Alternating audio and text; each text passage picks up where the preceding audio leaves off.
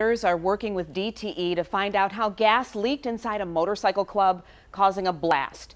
DTE says gas was shut off before this disaster, but the club says the gas was running and it was current with its bill. 7 Action News reporter Brian Abel tells us about the explosion last night.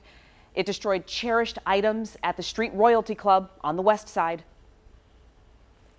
Well, this explosion here on the west side, you can see it's left nothing left but debris, as well as a group, a family of motorcycle riders without a home away from home. This is what the Street Royalty Motorcycle Club looked like yesterday and today. A gas leak explosion before midnight Tuesday leveled the social spots, sending debris in practically every direction onto the sidewalk and on top of cars for sale next door. Fire crews initially put out the flames but returned not once, but twice to cut down more.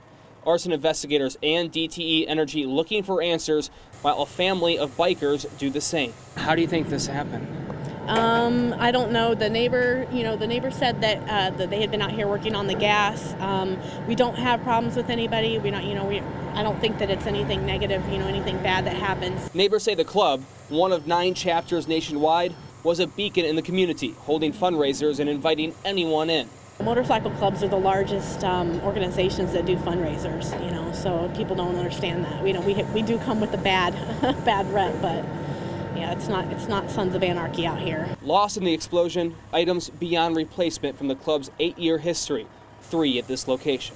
We've had um, members that have passed away from accidents and, you know, cancer and stuff like that. We had a lot of personal items that belong to them that's important. It's a lot of collection. a lot of history, so it's gone.